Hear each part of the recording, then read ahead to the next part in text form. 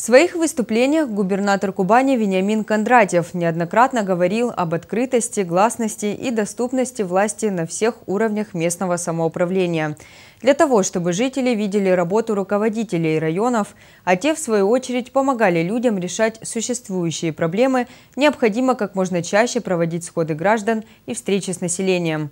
Такое прямое общение с жителями позволит сделать работу органов местного самоуправления более эффективной и точечной, а решения, которые принимает власть, станут прямым отражением запросов населения.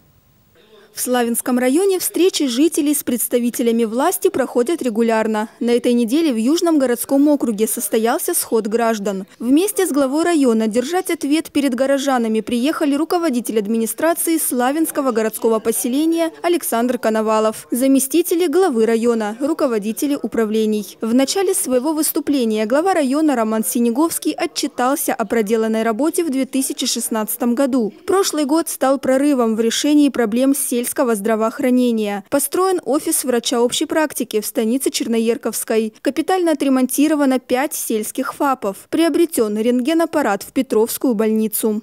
Совместно с бизнесом отремонтировали нашу инфекцию больницу практически уже полностью. Там осталось буквально входную группу отремонтировать. Это больница, которая не ремонтировалась. Все вы в городе проживаете, э, наверное, порядка 30 лет.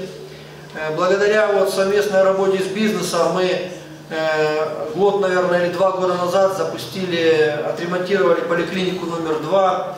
Мы уже говорили э, в Кубрисе, которая тоже видели, в каком состоянии была.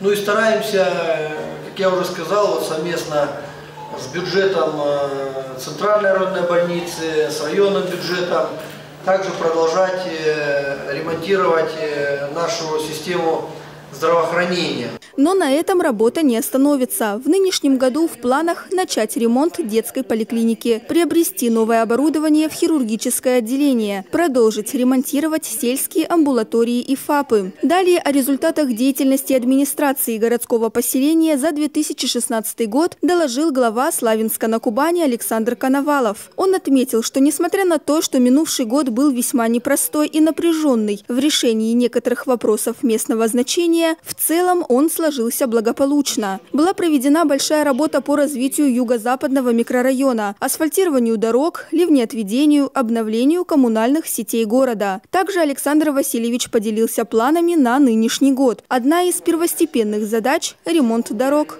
Сегодня задача номер один – восстановить э, асфальтовые дороги ямочным ремонтом хотя бы, восстанавливать гравийные дороги, уже мы закупили полторы тысячи кубометров щебня, механизм запущен, тот, который, том, который Романович говорил, это грейдер, и фреза, и укатывание. Кроме того, э, в первую очередь э, мы с вами э, в низком месте убирать воду с дорог, для того, чтобы как-то их сохранить. Механизм начал работать. И, конечно, в ближайшие месяцы постараемся восстановить и навести порядок на дорогах. Славянцы замечают перемены к лучшему в городе и районе. Это подтверждают и квартальные. Я хочу поблагодарить администрацию района Спасибо. и лично вас за помощь городу. Раз помощь городу идет и нам попадает к Южному округу в части. Спасибо.